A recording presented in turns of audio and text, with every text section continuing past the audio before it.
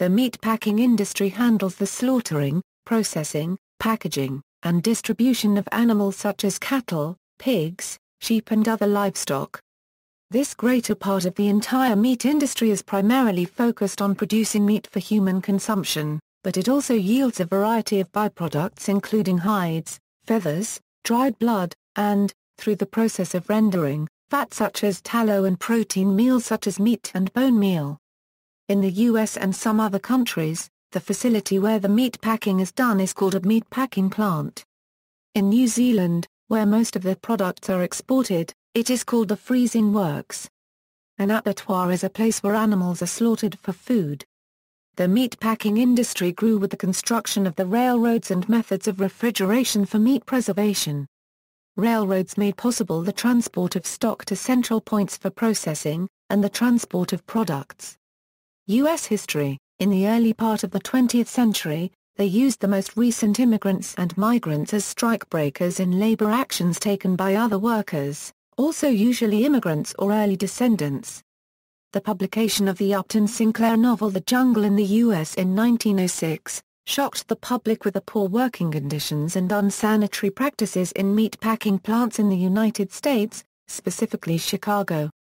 Meat packing plants, like many industries in the early 20th century, were known to overwork their employees, failed to maintain adequate safety measures, and actively fought unionization. Public pressure to U.S. Congress led to the passage of the Meat Inspection Act and Pure Food and Drug Act, both passed in 1906 on the same day to ensure better regulations of the meat packing industry as well as better treatment of its employees working there. Before the Meat Inspection Act and the Pure Food and Drug Act, workers were exposed to dangerous chemicals, sharp machinery, and horrible injuries. For more information on the conditions, see the jungle. In the 1920s and early 1930s, workers achieved unionization under the CIO's United Packing House Workers of America. An interracial committee led the organizing in Chicago, where the majority of workers in the industry were black, and other major cities, such as Omaha, Nebraska, where they were an important minority in the industry. UPWA workers made important gains in wages, hours and benefits. In 1957 the stockyards and meat packing employed half the workers of Omaha.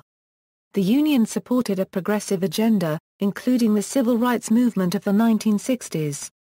While the work was still difficult, for a few decades workers achieved blue-collar, middle-class lives from it.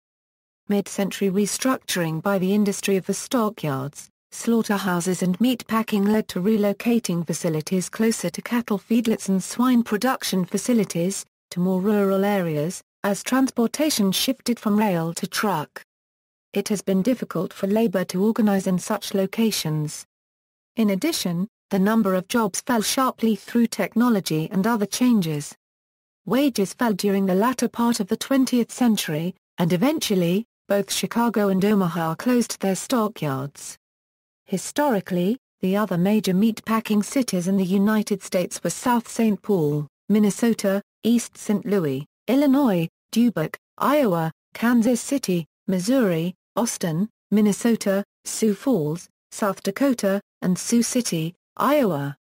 Though the meat-packing industry has made many improvements since the early 1900s, extensive changes in the industry since the late 20th century have caused new labor issues to arise. Today, the rate of injury in the meat-packing industry is three times that of private industry overall, and meat packing was noted by Human Rights Watch as being the most dangerous factory job in America. The meat packing industry continues to employ many immigrant laborers, including some who are undocumented workers. In the early 20th century the workers were immigrants from Eastern and Southern Europe, and black migrants from the South. Today many are Hispanic, from Mexico, Central and South America. A vast majority today is also made up a large Peruvian community.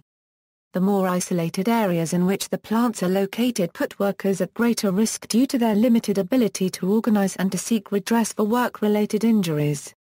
Meat packers, current and historically significant meat packers in the United States include, Armour and Company, Cargill Meat Solutions, Cudahy Packing Company, Foster Farms, Hormel Foods, Indian Packing Company, whose Green Bay, Wisconsin, facility was the namesake of the Green Bay Packers NFL team, Lohmann Company, Perdue Farms, Smithfield Foods, Swift Packing, Tyson Foods, outside the United States, Imperial Cold Storage and Supply Company, William Davis Company, Maple Leaf Foods, Schneider Foods, JBSSA. AFFCO Holdings, Alshaya Corporation. See also, Labor rights in American meat packing industry. Footnotes. Further reading, Hinman, Robert B., Harris, Robert B. The Story of Meat. Swift and Company, 1939. John C. Kennedy Papers. 1912 to 1938. 5 inches linear. External links. Now on PBS a Euro meat packing in the US still a jungle out there?